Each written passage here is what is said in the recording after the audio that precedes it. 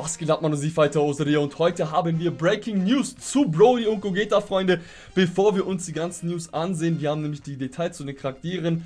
Ein dickes Sorry an euch, ich habe euch nämlich eigentlich versprochen, dass heute noch ein Summon-Video rauskommen wird vom Hit. Das verschiebt sich aber auf morgen, Freunde, denn die Breaking News kam rein, das wusste ich auch nicht, da kann ich auch nicht vorhersehen. Und ich will nicht drei Videos, mehr als drei Videos pro Tag raushauen, sage ich mal. Wirklich dicke Sorry, Freunde, aber das wieder wird sich auf morgen verschieben. Ich hoffe, ihr habt da Verständnis dafür. Dann gucken wir uns aber mal dementsprechend die ganzen Sachen an, die Breaking News. Shoutout hier natürlich, Big Shoutout, Freunde, an Team Dokana. Er ist wirklich eine vertrauenswürdige Quelle. Er hat das Ganze nämlich geleakt zu Weihnachten. Er sagt quasi, ja, schöne Weihnachten sozusagen. Hier habt ihr News zu Broly und Gogeta. Aber es gab kein Data-Download im Spiel für JP. Heißt, der hat das wahrscheinlich aus dem Testserver oder aus den JP-Servern. Jedenfalls hat er aber auch selbst gesagt, dass sich das ein oder andere vielleicht noch an den Charakteren ändern könnte. Änderungen vorbehalten an der Stelle. Also schätze ich halt, dass es wirklich von den Testservern sind. Die Tage sollte das aber als Data-Download kommen für die japanische Version. Und er hat auch gesagt, Ende Dezember sollte das für JP erscheinen. Bro Broly Geräte, das ist ja aus den V-Jump-Scans. Könnte vielleicht dieser Freitag sein. Wenn nicht, ist halt wirklich der 31. erst. Und circa einen Monat drauf sollte das auf Global kommen. Lange Rede, kurz Sinn, Freunde. Ich werde einen Link in die Beschreibung setzen. Da habt ihr dann auch die Übersetzungen, die, das sind die englischen Übersetzungen, sag ich mal, die wurden von einem User aus Reddit übersetzt. Ich gehe aber mal an die französischen ran, denn das ist nicht so schwer zu verstehen. Natürlich habe ich mir auch das angesehen, weil ich will das mal so eins zu eins aus dem äh, wiedergeben, was er da geleakt hat. Und genau, dann gucken wir uns mal das Ganze hier an der Stelle an. Wir haben hier, wie gesagt, Freunde, Super Saiyan. Machen wir das Ganze mal so. AGL Gogeta. Und zwar steht hier erstmal dran, Leader Skill, das ist die SSR-Version. Okay, wir gucken uns am besten einfach direkt die TOR-Version an. Die, äh, die TOR-Version, die Details zu der TOR-Version sind in der Mitte und rechts davon die Transformator-Version. Aber wir fangen jetzt erstmal also mit der TOR-Version vom Super AGL Super Saiyan Gogeta an. Er heißt Super Saiyan Gogeta, heißt, man kann ihn mit jedem anderen Super Gogeta spielen. Sein Leader Skill ist folgendermaßen, Freunde, für Super Saiyan Gogeta. Ki plus 3 und Angriff 170%, HP und Verteidigung 150% für die Kategorie der Movie Heroes. Oder Key plus 3 und Angriff 170% und HP und Dev 130% für die Fusion-Kategorie. Also die Kategorie, dieser Leader-Skill ist erstmal zum einen übertrieben gut. Es gibt sehr viele gute Movie, Movie Heroes Charaktere und Fusion Charaktere, die kannst du reinpacken. Elaborita zum Beispiel, Elaborita ist in den Movie Heroes, heißt er bekommt einen besseren Boost und zum Beispiel die anderen Fusion Charaktere, die nicht in Movie Heroes sind, sagen wir mal vierfacher Gogeta, der bekommt einen anderen Boost und dieser andere Boost, der ist halt übertrieben gut auch. Die bekommen nämlich 170 auf den Angriff, Freunde. Das ist insane. Passive von der TOR-Version ist folgende. Er hat auf den Angriff und auf die Verteidigung 100% und macht sehr effektiven Schaden gegen jeden Gegner. Zudem hat er eine Medium Chance Moyen, ja, das sollte Chance Moyen, sorry, Aussprache Französisch hat sich lange nicht mehr, jedenfalls sollte das Medium Chance sein, äh, gegnerische Angriffe zu dodgen. Medium Chance, Freunde, auf den Super er, dass er Angriffe dodgt. Ist RIP. Also wirklich beim Respekt, das ist sehr gut. Jedenfalls, wenn die Bedingungen stimmen, wir wissen noch nicht, welche Bedingungen genau, wie sie genau aussehen, dann transformieren sich, aber ja, in Klammern steht dran, ab Anbeginn der fünften Runde nach Kampf, also nach Kampfbeginn, sag ich mal. Ab Anbeginn des Kampfes nach fünf Runden, um es besser zu sagen, wie der Free-to-Play AGL Piccolo.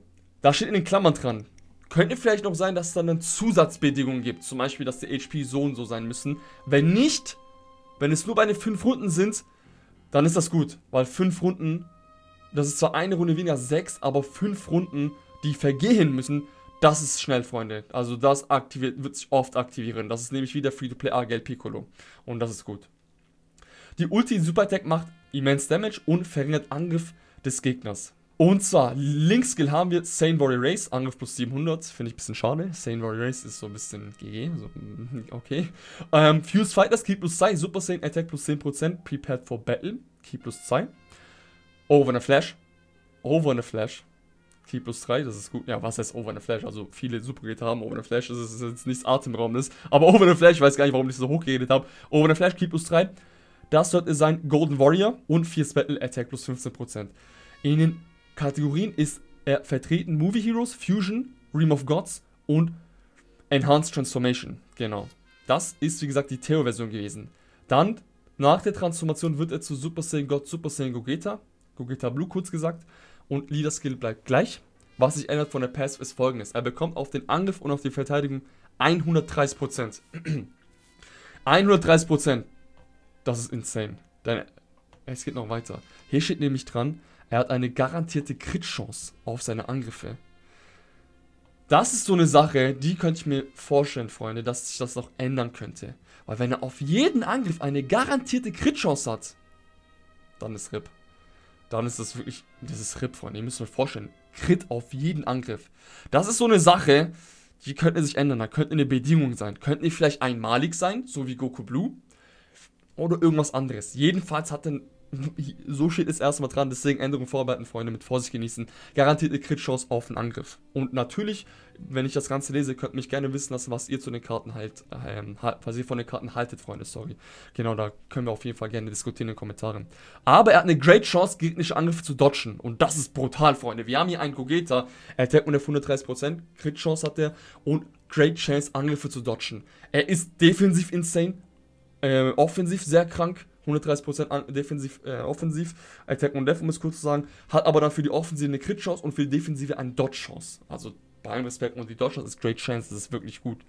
Er macht weiterhin immens Damage, aber verringert Angriff und Verteidigung des Gegners für drei Runden. Link-Skills, Saiyan Warrior Race, ähm, Fuse Fighter, Super Saiyan, Prepare for Over the Flash, Soldat Divin ist Warrior Gods und Fierce Battle und Kategorie bleibt gleich. So viel zu Gogeta, Freunde. Könnt mich gerne wissen lassen, was ihr von ihm haltet, wie gesagt. Kommen wir zu Broly. Bei Broly ist jetzt folgendes, Freunde. Das ist jetzt so eine Sache, das könnte ein Fehler sein. Weil er hat im Namen Broly. Das heißt, man nimmt an, dass er nicht Base von Broly ist. Aber aus den Vorjump-Scans wissen wir eigentlich, dass die SSR-Version, das Artwork der SSR-Version auch von Super Saiyan ist. Und links hat er Super Saiyan. Also ich schätze, der sollte eigentlich Super Saiyan Broly sein, wie er droppt, als SSR. Hat man nämlich aus den Falljump Leaks. Jedenfalls, das war die SSR-Version. Die TO-Version ist folgendermaßen. Wir wissen, er ist von Extreme Physisch Type. Leader Skills folgendes: Key plus 3, Angriff 170%, HP und Death 150% für Movie Boss Charaktere. Oder Key plus 3, Attack plus 170%, HP und Death plus 130% für die Full Power Kategorie. Und da ist einfach LRGF zum, zum Beispiel. Und LRGF kann man auf jeden Fall in der Kategorie spielen, weil LRGF hat Shocking Speed und ich sag's jetzt schon mal, Broly hat auch Shocking Speed, das ist insane. Jedenfalls, Passive von der Theo-Version ist folgendes. Er bekommt Key plus 6 auf den Angriff 130%, auf die Verteidigung 100%. Wenn die Bedingungen stimmen, transformiert es sich. Hier steht dran, nach 4 Runden April Debüt du Combat, also nach, vier, ähm, nach Kampfbeginn nach 4 Runden. Könnte wie gesagt sein, dass da noch eine Zusatzbedingung kommt. Wenn nicht, 4 Runden, wenn die 4 Runden vergehen, ist easy. Aber ich glaube da. Ich glaube, es sind nicht nur 4 Runden, sondern ich denke schon, da kommt noch eine Bedingung rein. Aber außerhalb so, wenn die Passive durchkommt, Key plus 6, insane, selbstständig Key plus 6, 130% auf den Angriff und 100% auf die Verteidigung, also Hut ab.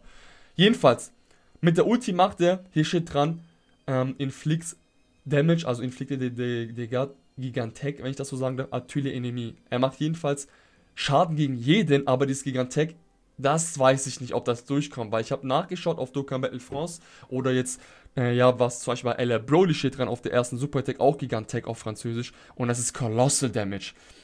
Es ist schwer zu glauben, dass eine TOR-Version Colossal Damage gegen jeden macht. Ja, wenn die Ella das macht. Also ich denke eher, das wird immens oder Supreme. Supreme wäre zu low, ich denke eher, das sollte immens sein. Jedenfalls macht er mit der ersten Super Attack aber Schaden gegen jeden und verhindert Angriff für eine Runde. Links sind Saiyan Warrior Race, Super Saiyan, Berserk. Genie ist Prodigies. Richtig geil, weil Vegeta hat auch Prodigies und Vegeta ist auch in der Full Power Kategorie. Warum hype ich das so auf? Nicht, weil es Vegeta ist, weil Vegeta fehlt einfach ein Partner, der auch Prodigies hat und ein guter Charakter ist. Das hat er bis jetzt nie gehabt.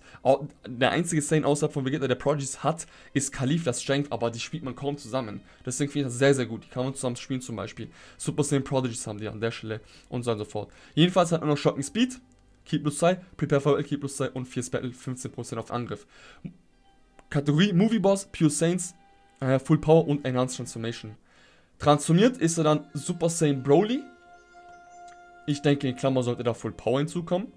Wenn nicht, auch nicht schlimm, dann ist er transformiert. Jedenfalls aber transformiert sollte der Full Power Broly sein, logischerweise. Leader Skill bleibt gleich. Passive Key plus 8. Attack plus 188% und Verteidigung plus 120%. Das ist jetzt auch so eine Sache. Wenn das durchkommt, was? 188% auf den Angriff, Key plus 8 selbstständig? Das ist noch nicht alles. Er macht zusätzlich garantiert eine Additional Attack, garantiert eine Additional Attack, die eine Great Chance hat, eine Super Attack zu sein. Also das kann ich mir vorstellen, ne? das ist so Broly-typisch, aber diese Key plus 8 und Attack plus 180%, das ist halt krank. Das ist brutal. Das ist halt. Wenn, wenn er sich selbstständig Key plus 8 geht, dann ist insane. Was aber auch vielleicht. Guck mal, der physisch Broly, wenn mich alles täuscht, der physisch Broly ist bei dem mehr oder weniger so, wenn er Key plus 8 hat, dann bekommt er das und das. Vielleicht könnte das auch heißen, dass er erst, wenn er Key plus 8 hat, und höher, dass er diesen Boost bekommt. Oder Key plus 6 und höher, dass er diesen Boost bekommt. Und nicht, dass er selbstständig Key plus 8 oder 6 bekommt. Das hat die Sache mit den Leaks, ne? Änderungen auf jeden Fall vorbehalten hier an der Stelle, Freunde. Mit Vorsicht genießen. Aber so viel zu der Passive. Spezialangriff macht immens Damage und verhindert die Verteidigungsgegner stark. Same Warrior Super Saiyan, Berserk, Prodigies, Shocking Speed, Prepare for Battle, Fierce Battle, Movie Bosses, Pure Saints, Full Power, Enhanced Transformation, wie gesagt, Freunde. Ja, zusammenfassend wären das die Informationen zu den Charakteren, Freunde, aber auch, wie gesagt, Änderungen auf jeden Fall vorbehalten. Ich warte da die Tage auf einen Data-Download, damit ihr genau wisst, okay, das und das haben die drauf. Und dann sprechen wir uns auf jeden Fall nochmal. Jedoch hat es so von den Leaks her, sag ich mal, den Anschein, dass Broly ein bisschen besser ist, sag ich mal, als Gogeta mögen vielleicht viele den Anschein haben, jedoch würde ich auch hier sagen, unterschätzt nicht Gogeta, weil der hat eine Greatly Raised Attack für drei Runden. Heißt, der hat einen Double Stack und Greatly Raised Attack und Death sollten 50% sein, so mit Dreh rum. Das hat immer die Sache mit Theorie und Praxis. Ja, in der Praxis werden wir auf jeden Fall schauen, wenn die Charaktere drin sind, wenn wir genau wissen, okay, das und das sind die Multiplayer, so und so funktioniert das Ganze. Deswegen würde ich euch auf jeden Fall vorerst sagen, also urteilt nicht voreilig, weil wir wissen ja auch nicht, ob das Ganze durchkommt. Kann auch sein, dass dieser Passive-Teil mit Broly, wie gesagt, erst triggert, wenn Key äh, plus Key 8 oder höher sind oder sowas in der Art. Jedenfalls, Freunde, wie gesagt, wenn die Data Downloads einkommen oder wenn Data Downloads kommen, wie gesagt, dann sprechen wir uns auf jeden Fall nochmal. Und bevor ich mich wie immer am Ende allzu sehr verplappere, hoffe ich, das Ganze hat euch gefallen. Lasst mir auf jeden Fall in den Kommentaren wissen, was ihr davon haltet. Und dann sehen wir uns auf jeden Fall im nächsten Video. Macht's gut, Freunde. Peace. When I pull up at your girl, mommy wanna be my world. You a man, bro, don't you cry.